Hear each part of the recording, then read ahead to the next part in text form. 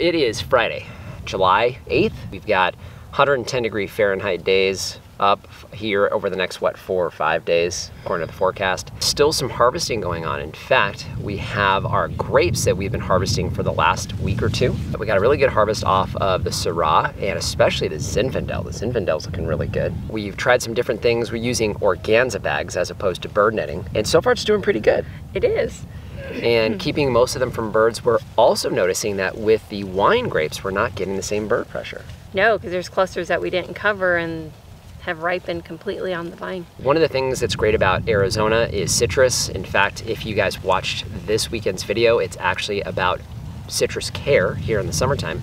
But we also have kumquats that are kind of year round, right? So we got some ripe kumquats. You wanted to get a little project done with those kumquats because we haven't really used them well. What'd you do? I actually harvested a bunch of them and I made some marmalade. Ah, so kind of walk us through. What did you have to do to make the marmalade? So I sliced them up and then I did pull the seeds out of them and I put them in a pot with some sugar and lemon juice and cooked that down. And then I put it in some jars and one of the recipes that I found that I had kind of gone off of, I read that they actually, in Europe, they just flip it over and it creates a vacuum seal with the hot, hot mixture inside of it and it seals the jar that way. And you tested them this morning. Are they actually sealed? Yes. Oh my goodness. It's kind of funny because laws and regulations and rules and all these things we follow, they vary from nation to nation. Yeah. And you wonder just how much of that is real and how much of it is just scare tactics. What you see behind us here is the sorghum area from this year. It's where we had our pigs this past season. We're growing sorghum in here for now, but this the destiny for this is actually our turkeys, our fall turkeys that we've already pre-sold actually for Thanksgiving. They're coming here in a couple weeks and we need to be able to get into here. But before we do that, we actually had a project this week that we got done.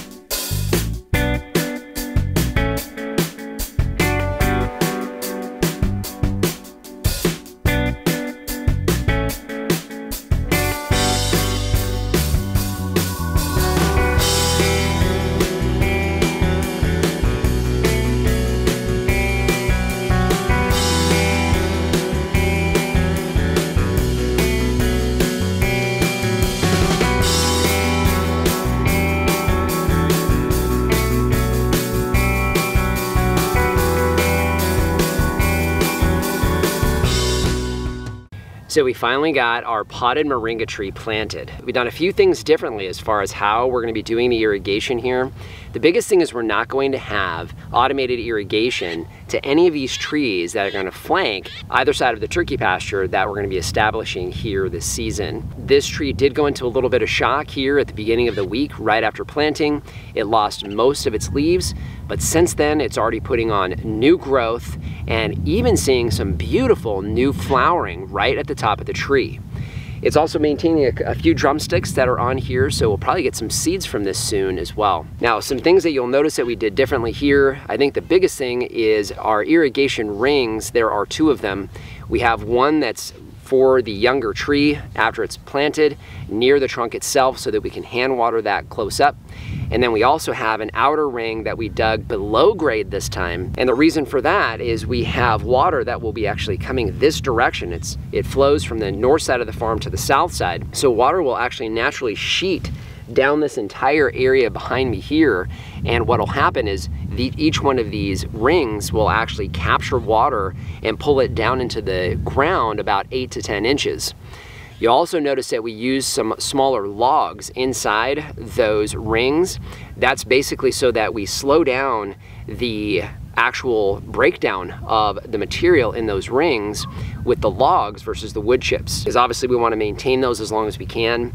In addition, it's kind of like hugelkultur. That's also going to maintain some of our fungus and also bacteria down in and around where this tree is going to be establishing. Most of the trees that we're going to be planting here are actually not going to be transplants. This was a test to see how the transplant itself is gonna do. But we're pretty excited to actually have some desert adapted trees and start utilizing some of those permaculture principles in capturing water and utilizing it for trees like this that will give us shade, food, and fodder. We talked a little bit about the fact that we were gonna do something a little bit different on this side next to this transplanted moringa, and that's planting moringa from seed. So if you guys haven't seen a moringa seed before, they're kind of unique. They have these little sails on them, and they're basically almost like a tri-lobe. But we have several seeds that we have saved from our old farm. In fact, we harvested these from our original moringa tree on the old farm almost exactly four years ago. These seeds are doing fantastic as far as germinating. In fact, we planted seven of these a few weeks back and we had six of the seven actually take. They're now growing underneath some grow lights we have inside the house for transplanting later on. But what we're gonna be doing today is we're gonna be planting a few of these seeds in each area that we have designated on both sides of the turkey pasture so we can get these started here directly in the ground and see which outperforms which a transplanted tree, a seeded tree, or a small transplanted tree. Two types of transplanted trees. Anyways, you get it.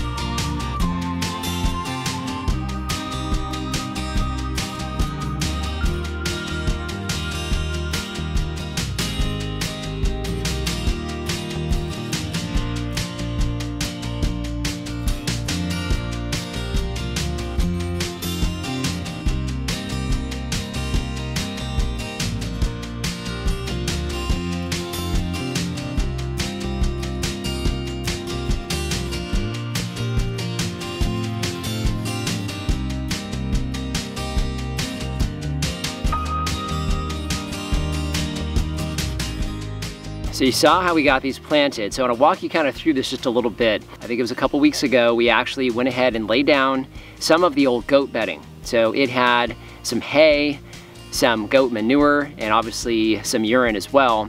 We set these down on the ground and covered it with wood chips, and Lori has been watering this in basically every single day for the last couple of weeks. What we did is we took a little bit of Amend. You guys know we're fans of that. You can get it at Home Depot or Lowe's. We mix that in with the mixture of hay and manure, as well as a little bit of natural soil. Then we matted that down just a little bit and poked three holes into the ground, which gave us the space to go ahead and plant the seeds into. Then we watered those in nice and heavy and covered them with just a little bit of wood chips to make sure we can help keep a little bit of moisture on these newly planted trees. So we got both sides of the turkey pasture done, but one of the things that we noticed very quickly and we're very excited about is we have mushrooms.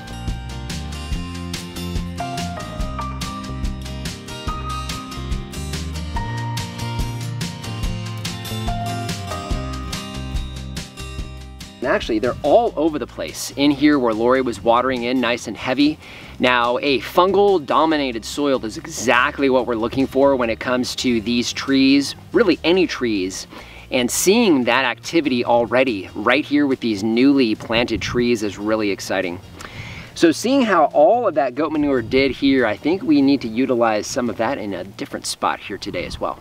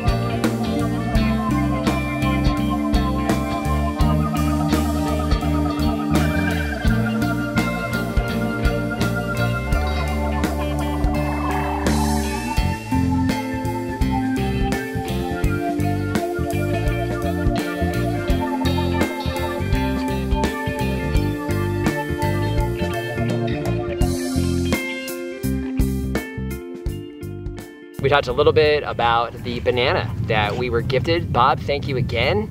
And Matola, thank you for the advice for both of you as far as what we needed and several things in this area for this banana to hopefully survive and thrive. So one of the things we wanted to make sure we were doing was prep the soil. Really excited about how well that bedding works, the goat bedding works for starting those seeds. So I figure it's best to get those down now with a few weeks before we plant that banana and prep this soil. One other thing that you guys saw us planting last week that a few of you asked for an update on. We had actually taken a sweet potato out of one of our garden beds and we had planted it here in this area for ground cover. You can see exactly what happened to all of those vines that I had laid out onto the ground. This was disheartening to see this week, but we figure water it every day. We know there's a potato down there and they do pretty well. And lo and behold, yesterday, this is what Lori found. Really exciting to see that the sweet potato is actually taking off from the potato itself, which is really all we need. So we're gonna keep this nice and moist. You can see we planted a couple more starts there.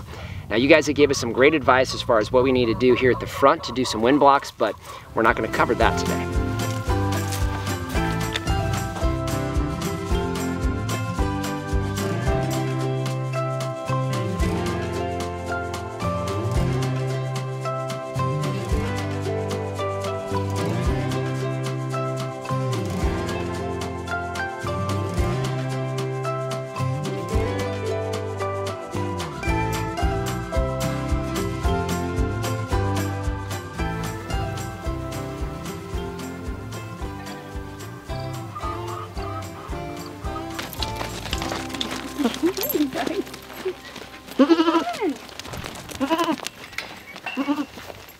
So just want to thank you guys for joining us today. If you haven't done so already, subscribe to the channel. We cover a lot of things here as we're establishing this new functioning farm here in the Arizona desert, but would love to see you on a regular basis. Any questions or comments, leave those in the comment section down below. And our Amazon shop, I'll leave a link down in the description. That is a free painless way to help support the channel. If you start with that link, it doesn't matter what you buy, you help to support us here. So just want to thank you for joining us today and remind you, if we can farm on the edge of nowhere, so can you. Rosie's gonna get on that thing. so, oh, no, no face smacking today. That's all I ask. you can lightly brush. Okay. No smacking. Okay. So these seeds, believe it or not, are doing fantastic as far as uh, what's the word I'm looking for? Germinating. Thank you.